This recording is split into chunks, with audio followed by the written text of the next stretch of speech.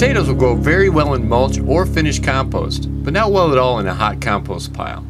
I feel this distinction is important to make because it occurred to me that my recent videos on growing potatoes and building soil at the same time may not have been as clear as I intended.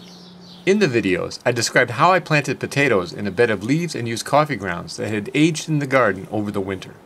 I also added worm castings and red wigglers to each planting hole and extra used coffee grounds to the leaves.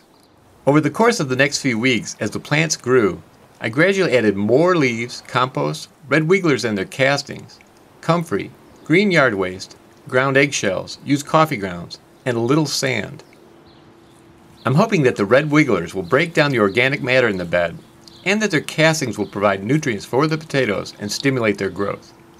And after the harvest, I should have some great garden soil for future crops. That said, the process of layering organic matter does resemble in some ways how one would build a hot compost pile, so I thought it was important to draw some distinctions. One way to look at it is that I'm trying to create a potato bed that is much more like a worm bin than a compost pile. When growing potatoes or raising red wigglers, high temperatures are the enemy. The ideal temperature range for red wigglers is between 55 and 77 degrees Fahrenheit. They'll survive over a much wider range, but this is where they're most comfortable.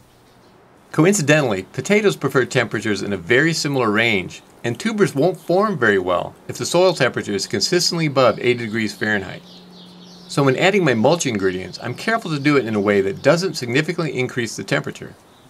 First, I'm not piling the mulch very high. The bed is 10 and 3 quarters inches deep.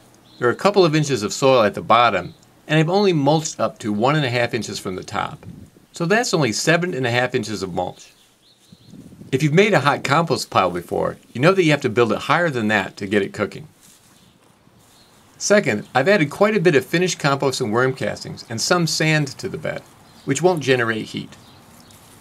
Finally, though I've added green ingredients that could create heat when combined with leaves, I keep their volume low enough so as not to cause any trouble. But just to confirm I'm not creating a hot compost pile here, Let's take a look at the temperature of the potato bed compared to the neighboring blueberry bed. My compost thermometer has been in the middle of the potato bed for several minutes now and is reading just barely 71 degrees Fahrenheit, which is perfect for red wigglers and potatoes. And checking the temp of the blueberry bed, it's a slightly cooler 69 degrees. So it's possible that the mulch is generating a little heat, but not nearly enough to be concerned about. I hope this clarifies the approach I'm taking with my potatoes.